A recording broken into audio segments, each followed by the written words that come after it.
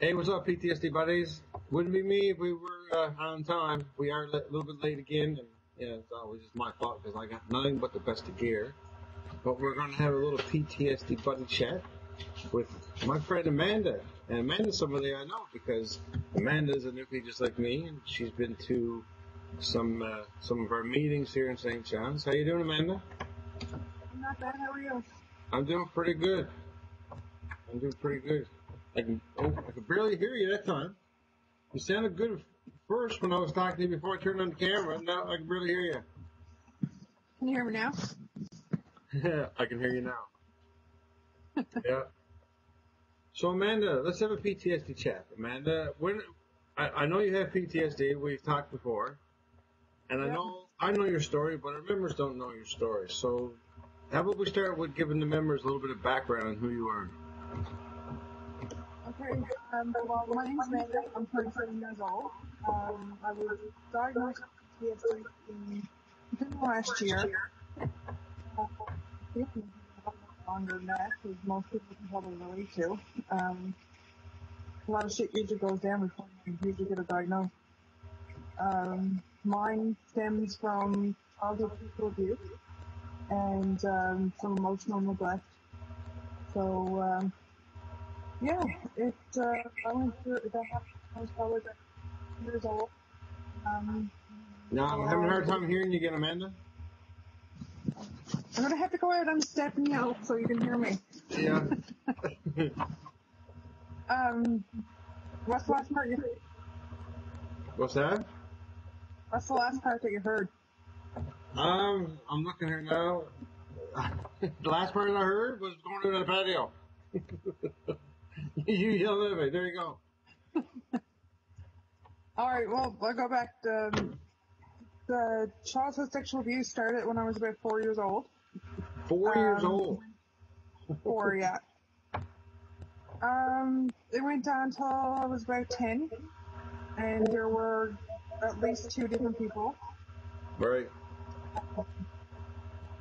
And um, I've recently started the trauma program that's after I help uh, here, here. So I've been doing a lot of reading, and I realized,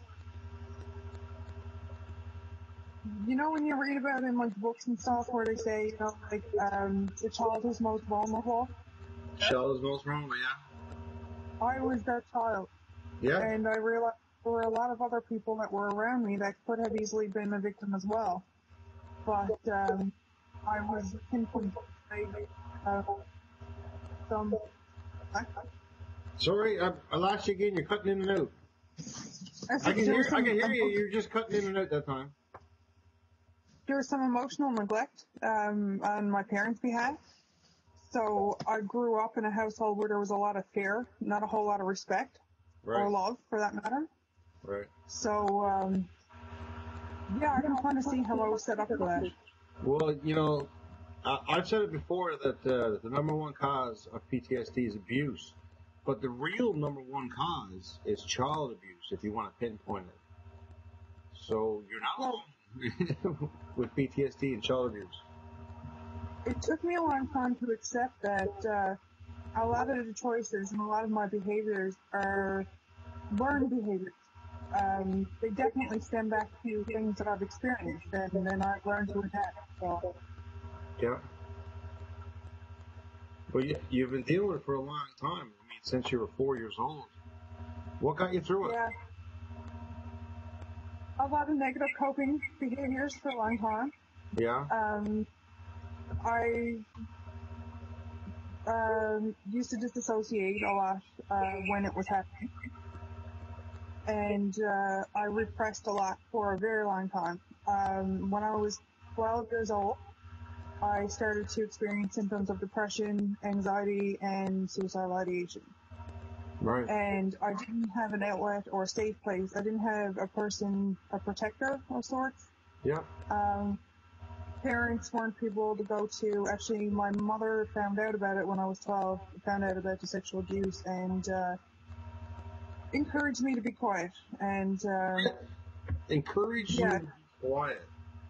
Now, I can can't understand- imagine. I can't imagine what you were thinking at that point. I was really scared, and I, you know, if your own mother doesn't defend you, who's going to? Well, as a child, you look to your mom or your dad for protection, for for love, and by the sounds of it, you found none of that with them.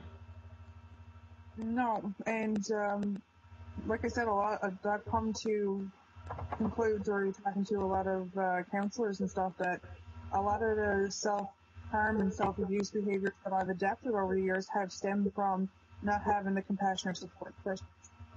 Yeah. Yeah, Kira says uh, this. This. I'm sorry. as soon as I started reading, it went up. Dissociation happens a lot with childhood trauma. I'm so sorry. To, uh, she told you not to, not uh, and not defended you. Jeez, that was really hard for me to get at that time. I'm so sorry, Kira. uh, Kira also said that mine also did the same. Sorry you had to hide it. Uh, yeah, I can't imagine um, uh, being that like that young of an age, Amanda, and having to go through that for one. But when you finally get the courage to tell someone, because I'm sure it took a lot of courage just to tell your mother it happened.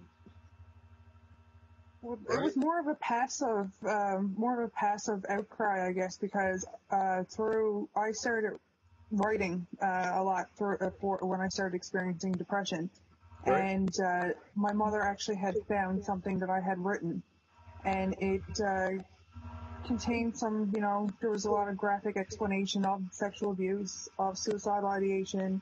It had talked about self-harm behaviors. It had talked about bullying that I was experiencing at the time.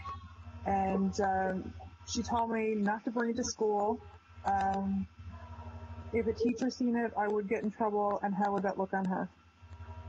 How would it would look So- on her. Yeah, there was a lot of anger towards my mother Yeah, towards my I, teeny. I guess you did. Yeah. But uh, I've looked at my mother also experienced uh. Sorry, say it again. My mother also experienced sexual abuse, Really? and the way that she dealt with it was by putting up and shutting up, by not dealing with it. Um, her mother died when she was 12 years old, so she didn't have the resources herself either. But Yeah. instead of turning around and trying to do for me what she didn't have for her, she could just pass abuse, I would- basically. I would think that like when someone goes through something like that, the last thing they would want is you know their daughter, or son, whatever child to go through it. And she told you to hide it. I mean, she. I figured. She, I'm sorry. I just figured she would relate and want to really help you on this. That would, that's just my thought. Yeah, that's what I would expect, but that's not what happened. Yeah.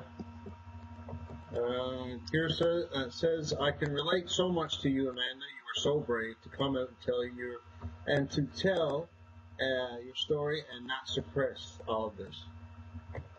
Thank you. I did suppress it for a very long time, and it nearly destroyed me. So now Yeah. I'm trying to be as open as I can be because that's how I deal with it. Yeah, it's, it's not easy. Like I was saying earlier, it's not easy to share your story. And I know it wasn't easy for you to tell your mother that you were abused like that. So to one come up with the courage, I can't imagine. I, I just can't imagine because I, I know when I was a kid, I looked at my parents almost like gods. Like they were my, like I knew I could always go to my parents. As a matter of fact, like we we were talking earlier about my new book. I dedicated this book to my mom and dad. Right at the very beginning, there's even a picture of them. That's awesome. Because I'm proud to say I had a great childhood. My parents were amazing, supportive. So it really, you're not the first person I talked to, Amanda, who've had a rough childhood, and I can't imagine going through that as a child. Like my heart really goes out to you, Amanda. I'm sorry. Yeah, you learn to deal with it. Not always in the best ways, but you deal. Yeah. Well, Amanda, what kind of symptoms have uh, has has surfaced from your PTSD? Like I know me, I I used to deal a lot with nightmares, and I I don't not so much anymore. But uh, crowds still get to me. you know, public crowds stuff. Do you have any kind of symptoms? Uh, my symptoms kind of, like I said, I repressed a lot for a very long time. And uh, actually, first after the abuse had started, I had started exhibiting uh, compulsive and anxiety behaviors. Sorry, I would- compulsive. and anxiety behaviors. Okay. So I would be uh, excessively washing my hand. I would continuously pick my lip until there was absolutely no skin on my lip for a long time. And uh, the weird thing is, is that I was not a child who acted it's very strange people get this stuff happening out of the blue. Yeah.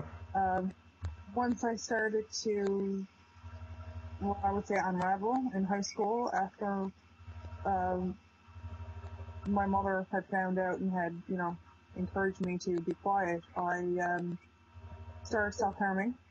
Yeah. I would cough. I soon became hypersexual, seeking attention. Um, and then I started using drugs. I think I was probably 13 the first time I ever had gotten drunk. Um, probably the first time I ever smoked pot was 13. It was just, I would do anything and everything that I could do to try to make the pain go away. Yeah. And it just eventually got worse as I got older. Uh, I'm Yeah. actually as well. Sorry, Um, I, I lost you after next year. Uh, so I'm actually a um, recovering addict as well. So Oh, um, that was a direct symptom of my trauma. So Yeah. So who's So- who's in, who's in your life now, Amanda? That's helping you through this. I'm surrounded by a lot of counselors. Um, I screwed up really bad and I committed a crime, so I'm actually involved uh, with mental health court services right now. Um, they have some really, really, really great people on their staff, and unfortunately, you basically have to destroy your life in order to get to sleep. Um, I'm involved in a concurrent disorders program that deals with uh, mental health and addictions and I'm involved in a trauma group that deals specifically with uh, childhood abuse. Yeah. My family is as supportive as they can be, but there's some disconnect there, obviously. And I do have friends that I can turn to, but the thing that I've really learned is that I learn what different people can what my reassurance can give me. Sorry, people not- can't. certain people can provide different types of reassurance, different types of support. Yeah. And I've had to learn who can provide what. So I'm not disappointed. Like I wouldn't call my mom after a rough trauma counseling session and seek support. Yeah. That would be setting up for failure. so See, that sounds like you. That sounds like the words of someone who's been dealing with PTSD for a long time. You sound like you you can plan your day around your PTSD level. I, now right? that I've dragged myself out of the deep hole of addiction and depression, and that I have some stabi- stability in my life, that um, being proactive is really trying to control my life. I um, go to the gym on a regular basis. I try to eat nutritious food uh, so it makes me feel better. Yep. I attend all my counseling appointments. Um, I'm on medication for nightmares because for a while I was having flashbacks while I was awake and I was having night terrors while I was help for it. Yeah, that would probably get, that would take away a lot of sleep for you. And then uh, I guess with no sleep, you kind of get a little irritable. Yeah, just just a little bit. Yeah, it's funny how it all pieces together, eh? Yeah, hungry, hungry, angry, lonely, and tired are definitely triggers for me. So I need to sure that if I'm going for a period of time where I'm not going to be home for lunch, that I have a snack with me, or um, make sure that you know I'm going to bed at a reasonable time so I can get at least seven hours sleep. So Yep. it's, there's a lot of planning. Yeah, definitely, definitely. I, I, I, know all about it. I know all about it. Um, Kira, Kira said self-mutilation was an escape as well for her. Um, she said she has she has other unsafe and coping skills, but she she asked, "What do you do now to help you cope?" Well, I guess that you you kind of answered that beforehand. You were talking about these little groups and everything that you're involved with. Do you find these groups help you? I do. Um, but I find that I have my uh, structured um, appointments with social workers and counselors and stuff, but I have community support groups as well. PTSD buddies, narcotics anonymous, um, our channel we have here, so I seek out all kinds of different supports. That's good. Yeah. Yeah, and um, I don't know if you probably heard of it, the Sandy Rule for dealing with impulsive behavior. No, I don't think I know that one. I can't remember exactly what it stands for. I used to have it, but I don't have it right now. But in, I have become very impul- or had become very impulsive in my cope. So Mhm. I would, um, I would eat, I would spend money, I would do drugs, I would engage in risky sexual behaviors, I would like speed, like anything that was seeking out a sensation, basically. Yeah. So uh, in my recovery, I've learned to try to control my impulses, and uh, what you have to do is you be able to recognize that you're in a situation, remove yourself from the situation immediately, consider the consequences, and just don't do it. Yeah. yeah. That sounds like wise words. Words. Jeez, I'm having a hard time talking tonight. My gosh. Um, what about panic attacks? Panic attacks have become a big part of my life. I still remember my first one. Do you remember your first panic attack? There's been so many, I can't, I can't even remember. No. No, but I, my first one always stands. What's that? What was your first one like? was in a grocery store. And I've since since I've told people that I found so many other people whose first panic attack was in a grocery store. I don't know what it is about a grocery store, but I passed out. I uh, I had a cart full of groceries. I moved up to the front of the, where the checkout was, and I guess with all the people there, I just started panicking. My heart started beating really fast, and I couldn't breathe. I passed out. I don't know how long I was out, but I passed out and I thought I was having a heart attack. I don't even at the time I didn't even know what a panic attack was. Never heard of it, Yeah, Right. it was really scary too. Yeah, and then it you panic because of panicking. And I find I, I um I'm a big tough army guy, so I don't ask for help or nothing, right? Like yeah, it was at it's now uh, when I talk about that, talk about that moment, I realized like you ever hear a story where people are choking, and a lot of people end up choking because they're too embarrassed to tell anybody that they're choking, so they go to the bathroom and try to get it themselves. I totally get Yeah. that because even though I passed out and I was okay and I stood up, I was so embarrassed. My first thought was like, "Oh my God, who's seen me lying on the honeycomb cereal?" Right? Because that's what I was doing. I was lying on the honeycomb cereal, passed out. it's not picture you in about yeah, yeah, I know. honeycombs. Yes, it's funny. Yeah, that's me. Yeah, yeah. I passed out honeycombs. Yeah, but I, uh, you know, I was so embarrassed. I just ran out of there. But what you said is a really good metaphor actually for PTSD because I was talking to uh, talking about it to one of my counselors the other day. Yeah. I had trouble trying to obtain services and for someone to actually pay attention to me because I knew there was something wrong with me. Obviously, things that I was doing, I'm, I'm not a stupid person. I know what I was doing wasn't right, but it was almost like what I needed to do at the time. But, um, I had gone to different doctors. I had been seeing a psychiatrist and it was almost like nobody was taking me seriously. And it's like, when you feel like you're a piece of shit and you genuinely believe it with every piece of yourself that you are worthless, to try to avail of services is one of the most hard things that I've ever. It's so hard to explain, Amanda.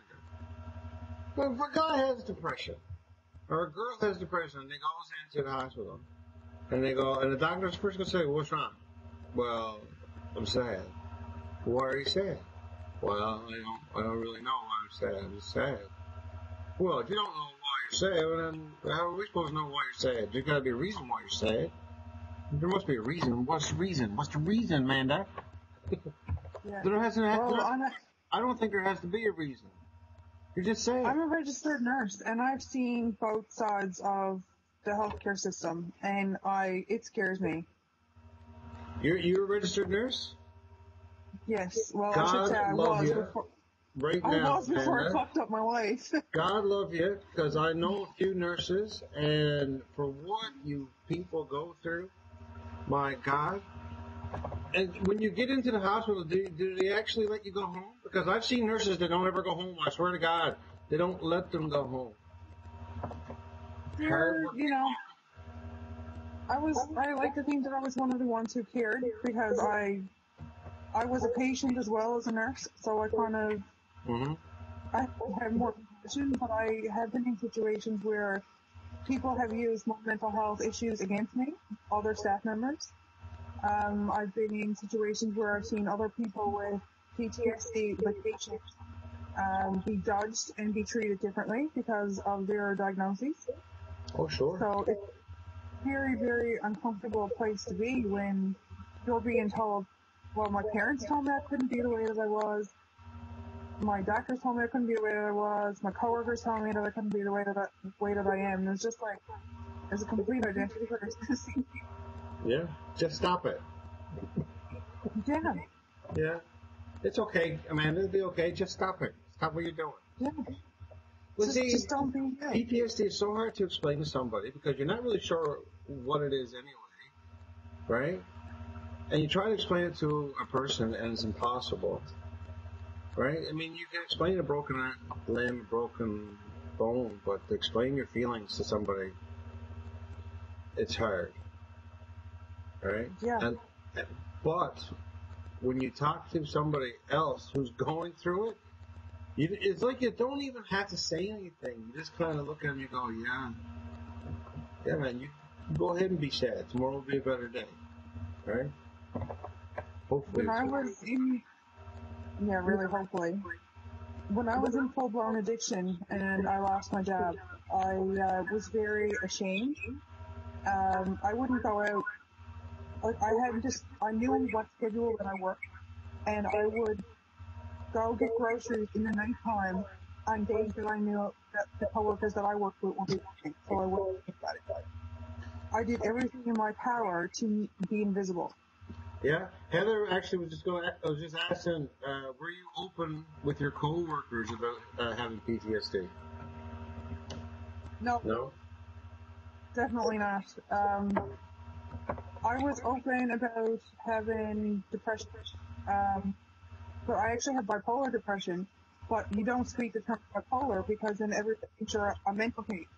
Yeah. So, I mean, I personally obviously don't feel that way, but it's there's a huge stigma and um, Well, a against lot of people are of to lose jobs, to lose space at certain places, right? I mean, I know guys and girls who've been kicked out of the military because they have PTSD. I had untreated PTSD that evolved into a full blown addiction that led me to committing a crime, which led to me losing my job. Really, huh? There's no ifs, ands, or buts about it. Like, didn't matter. It was too bad, so sad. Go try not to kill yourself. Yeah. Could I ask what the crime was?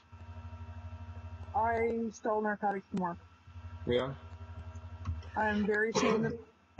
And, um, I'm facing up to the consequences of my actions. I mean, I've never denied that I've done it. Yeah. I was obviously in a very desperate situation. The first time that I took narcotics from work was a suicide attempt. I was on so much other medication at the time. Um, my doctor had me maxed out on antidepressants, had me maxed out on Ritalin and Valium for nightmares. And uh, I thought that by adding morphine to the cocktail that it would look like a simple overdose. Yeah. I didn't die, so I continued to take more and more, and I would stack doses upon doses until I would get my time. After a while, it didn't take very long that my body required painkillers to not throw up as soon as I woke up, basically. So it was, um, it was a huge cry for help when um work out. What was the last part? I No. you. It was, I got this I far said- as huge cry for help. It was a huge cry for help, but unfortunately, it went unnoticed for about two years. Two years, yeah. Holy shit. Amanda, my God, Amanda, you've uh, you've you've gone through so much, and you're still sitting there with a smile on your face. Amanda, that's, what- that's what everybody's. What? What? Uh, if if if there was one thing that's keeping that smile on your face, what is it? Defense. It depends. Defense. What it's a defense defense? mechanism. Oh, is it? Yeah. You know what? I did the same thing. I cracked jokes and stuff and everything. I And- do too, and everyone's like, "Oh, she's so happy and so Yeah, fun to yeah, be yeah, around," and it's just like, Yeah. you have no freaking idea. Yeah.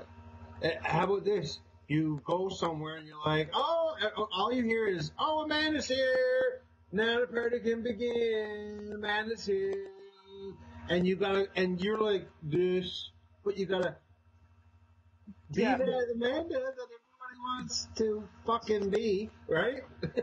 Well, since I've, you know, I'll say this side of recovery, since I've been like actually stable, um, I'm really honest with people, and sometimes people tell me I'm too honest, but you know what? I don't really care what other people think anymore. Um, if I'm having a bad day and someone says, how are you? I'll be like, not really that great, bye, like, how are you? and Yeah, someone will just stop and look at me and be like, do you actually want me to tell you about my day, or are you just asking, and they'll like, Are you just going through the motions? um, Yeah. Amanda, we're out of time. damn it, Can you believe it's been uh, 30 minutes? I can't believe that's 30. crazy. This the first time I looked at the time and time is up. Amanda, I got one. I got one question before we go though. What's that? Uh, I always like to end with this one question. Amanda, if you had a message or a tip or anything that you could say to somebody out there right now who's listening who's struggling with PTSD, what would it be?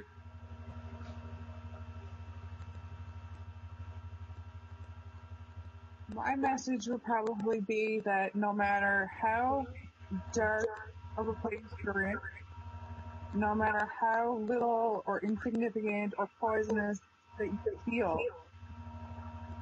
you are worth more than you think. And at some point you will see that, but you need to find something to hold on to to actually keep the place where you Amanda, thanks so much for having a chat with me tonight. No problem. Thanks for having me. Oh, it was, it was so much fun. I mean, I, I always get a laugh at you when you're at the meetings. So uh, I was really looking forward to having a chat with you tonight. Do you know about Sundays? Sunday we're going for a walk. I'm working Sunday. I know you don't stop, Amanda. You don't stop. But Amanda, thanks so much for having a chat with me. I hope we can have a chat again. Yes, I hope so. Good I night, buddies. I feel we got a lot more to talk about. But uh, thanks so much, Amanda, and we'll talk again soon, or we'll see each other again soon. I- I'm hoping, right?